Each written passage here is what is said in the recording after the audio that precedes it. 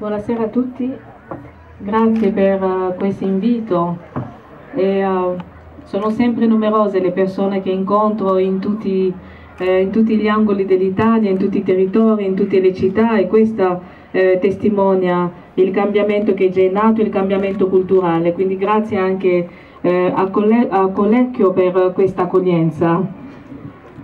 Vorrei ringraziare anche tutte le autorità qui presenti, a cominciare dal eh, sindaco che ha organizzato questa manifestazione anche per poter testimoniare un, un esempio di uh, buona pratica, un sostegno a una campagna eh, di civiltà, una campagna alla cittadinanza, al Presidente della, eh, della provincia e a tutta la Giunta. Un ringraziamento anche ai miei uh, colleghi deputati con cui eh, ci siamo incrociati più volte al eh, Parlamento al Senato, anche se ultimamente di rado visto ehm, il mio nuovo incarico. Un ringraziamento al eh, al prefetto che ho visto con piacere a Roma in un incontro con uh, tutti i prefetti, al uh, questore e anche al, alle forze dell'ordine che giorno dopo giorno ci danno un sostegno al lavoro che stiamo facendo e uh, alla sottoscritta anche a poter eh, eseguire bene il proprio mandato, vista anche le numerose minacce che ricevo, eh, i numerosi attacchi che ricevo e quindi un uh, ringraziamento alla Guardia di Finanza che uh, mi accompagna in questo percorso per uh, questo mandato. Io spero un giorno di non aver più bisogno del, della scorta, ma quella testimonierebbe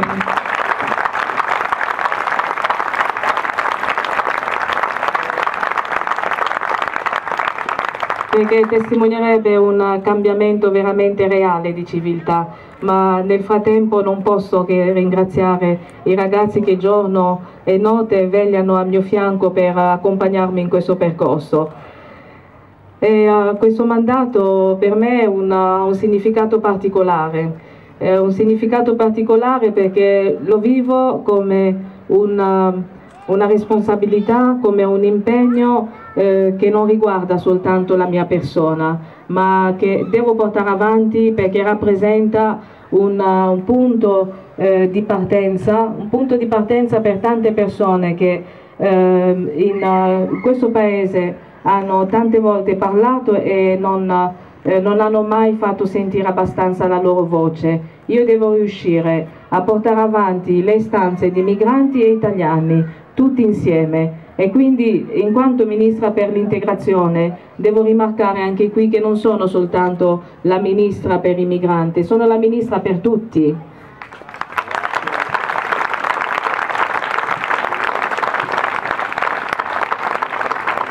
La Ministra per tutti perché vorrei che un giorno a integrazione si togliesse la G, che diventasse interazione Ecco, allora a quel punto non parleremo soltanto di migranti e migrazione, ma parleremo di cittadini, cittadini, persone al centro di ogni politica cittadini e persone al centro di ogni eh, progetto e sicuramente anche l'approccio verso eh, l'elaborazione del, delle nostre norme, delle leggi eh, avrà un altro percorso perché a quel punto non si guarderà più l'origine della persona ma si guarderà il bene della persona ma si guarderanno eh, i diritti del, delle persone. Noi abbiamo iniziato questa serata con eh, l'inno nazionale uh, l'inno nazionale che eh, dovremo tutti cantare perché giorno dopo giorno eh, quello che noi abbiamo come carta, una bellissima carta che è quella della Costituzione, ci deve accompagnare e soltanto applicando eh, gli articoli della Costituzione credo che avremo, eh, abbiamo uno strumento fortissimo contro ogni forma di discriminazione e contro ogni forma di razzismo, dovremo fare nostra quella Costituzione mi sembra di averla vista da qualche parte qui. E quindi bellissimo strumento anche per accompagnare un amministratore, per accompagnare eh, gli enti locali, per accompagnare i cittadini, per accompagnare noi ministri, accompagnarci nel nostro cammino proprio per cercare di far capire che l'Italia non è un paese razzista e io continuo a ripeterlo perché il giorno che noi affermeremo che l'Italia è un paese razzista ehm, avremo sepolto una buona parte di quello che noi stiamo facendo. Noi noi stiamo facendo delle buone pratiche, noi stiamo cercando di far vedere che esiste l'Italia migliore, allora quell'Italia migliore deve far sentire più forte la sua voce, deve far sentire forte quella voce. Non possiamo negare il razzismo, ma questo non vuol dire che l'Italia sia razzista. L'Italia è un paese che ha tanto da offrire, ha un paese che ha tanto da dare, la sua tradizione di accoglienza, eh, la sua tradizione, eh, la cultura proprio di apertura. Dovremmo cercare di tirare fuori tutto quello che c'è all'interno delle nostre comunità, dovremmo riuscire a capire che interazione vuol dire incontro fra le culture, interazione vuol dire eh, scambiarci, incontrarci e diventare sempre più ricchi. Se voi guardate qui eh, le persone, guardate, guardatevi intorno, non, non, sono frasi, non sono idee della ministra, l'Italia è cambiata, l'Italia è fatta di persone che provengono da diversi paesi, è fatta di persone che sono nate e cresciute in Italia pur avendo il colore della pelle diverso, è fatta di persone che hanno idee diverse, il diverso, dovremmo educare i nostri figli alla diversità dovremmo andare nelle scuole. E se, eh, e se, visitiamo le scuole, se apriamo le scuole vediamo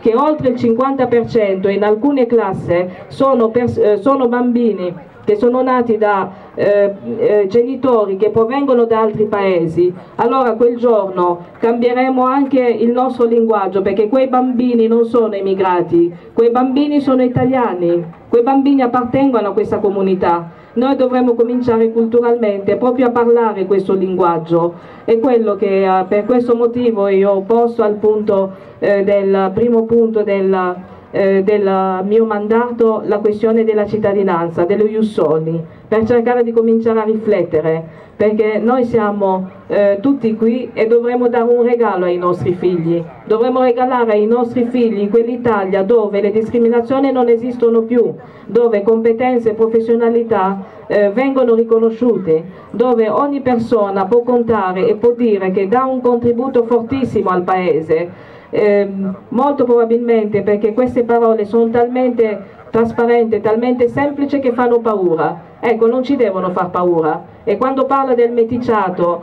e mi sento dire che il meticciato fa paura, eh, mi rendo conto che molto probabilmente perché non vogliamo guardare la realtà in faccia, la realtà ci dice un'altra cosa, la realtà ci dice che siamo più ricchi di quello che pensiamo, perché quando io incontro un'altra cultura non divento povera, ma divento più ricca, imparo un'altra lingua, imparo qualcos'altro. Eh, L'Italia imparerebbe a parlare al mondo, imparerebbe a parlare al mondo intero, perché già nel suo, nel suo interno, eh, nelle sue comunità, nelle nostre terre, noi abbiamo tutto questo e questo ci aiuterebbe anche a porre delle politiche per uscire dalla crisi, perché abbiamo delle competenze sul territorio, abbiamo persone che sono già qui e lo possiamo sfruttare anche per cercare di capire che parlare con altri paesi, altre comunità, vuol dire anche avere dei, eh, delle persone che possono essere, servire anche da ponti e non abbiamo bisogno di cercare altrove. E se abbiamo paura di questo vuol dire che abbiamo paura di uscire dalla crisi, vuol dire che abbiamo paura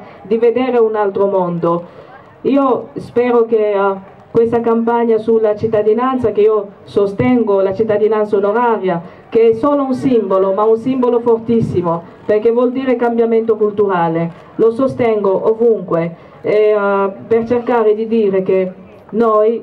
un giorno i nostri figli quando potranno sedersi sul, eh, nelle istituzioni, quando si siederanno, eh, diventeranno i dirigenti di questo paese, sarà soltanto un ricordo quello che è successo in questo periodo, quello che mi ha visto in questo periodo protagonista, ahimè, non tanto per le mie competenze e professionalità, la, eh, le mie lotte, ma per altre cose. Spero solo che sia un brutto ricordo. Ecco, questo ricordo però ha fatto risvegliare qualcosa di positivo nel paese. Ovunque vado ho trovato eh, la gente che si è finalmente svegliata, la gente che si è accorta che noi non possiamo eh, continuare soltanto a stare zitti, non possiamo continuare soltanto a guardare, e voi siete qui sicuramente perché sostenete questa campagna, perché avete capito che è il momento di alzarsi, è il momento di parlare, è il momento non della contrapposizione, ma di parlare un linguaggio pulito, trasparente della non violenza che elimini tutti gli stereotipi. È il compito di ogni amministratore. Quindi su questo io spero che mi accompagnerete in questo percorso, che saremo insieme, continuerò ad andare, eh, sul territorio proprio per accorciare le distanze e da pochi giorni ho anche le deleghe per le politiche giovanili, mi permetteranno di investire eh, di più, mi, mi, permetteranno anche di lavorare molto con, con, i giovani, mi permetteranno anche di portare avanti la voce di uh, molti, molti, minori, molti giovani che eh, non riescono a farsi sentire, anche da un punto di vista culturale, non soltanto da un, un punto di vista eh, economico. Grazie mille.